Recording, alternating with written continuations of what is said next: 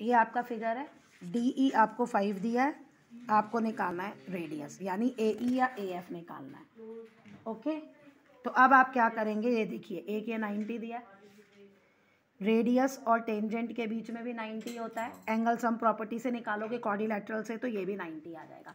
Opposite angles are equal it is a parallelogram adjacent sides are equal और in a parallelogram when all four angles are 90 and adjacent sides are equal external हो गया ना tangent से तो वो बन गया आपका स्क्वायर अब स्क्वायर बन गया तो all four sides are equal तो ये सारी आपकी फाइव फाइव आ गई.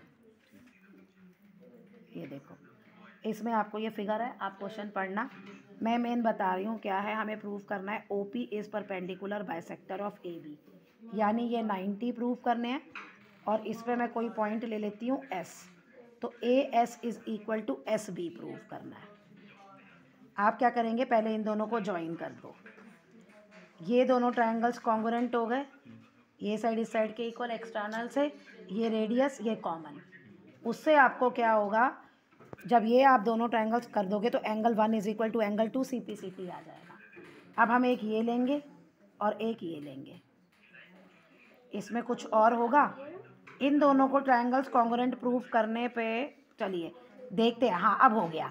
ये दोनों ट्रायंगल्स भी कॉन्गोरेंट प्रूव हो गए। कैसे ये साइड इस साइड के equal angle one is equal to two prove above और ये S P S P S common तो इससे आपका एंगल वन और थ्री और four angle three is equal to four आ जाएगा सी पी सी टी और three plus four linear pair भी है वन एट्टी तो यहाँ से three is equal to four आ गया नाइन्टी तो ये परपेंडिकुलर तो प्रूव हो गए।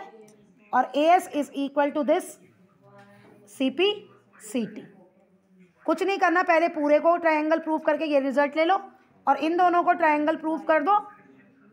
आपके पास आंसर आ जाएगा।